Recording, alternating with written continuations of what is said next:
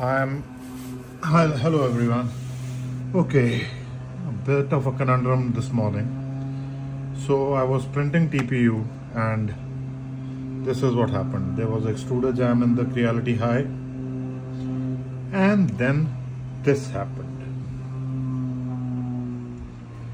So in the video they say that remove this connector, remove this connector, and they don't mention how much hot melt glue is on these. It's just I mean it's crazy. And then this is the tool board one of the tool boards which is on the extruder on this part.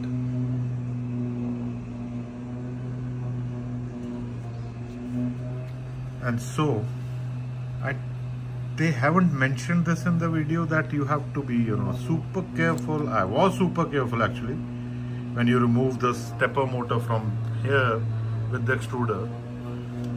And this tiny board is is on this with this con tiny connector. I mean look at my finger and look at this connector. And so this I ripped out this connector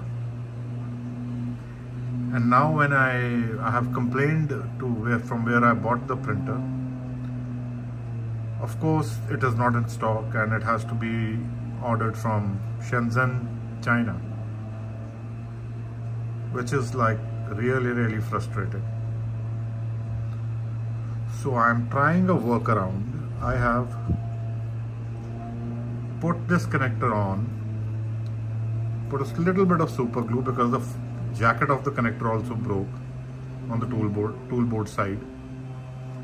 I've tried this before with my Hydra and it has worked when the connectors break.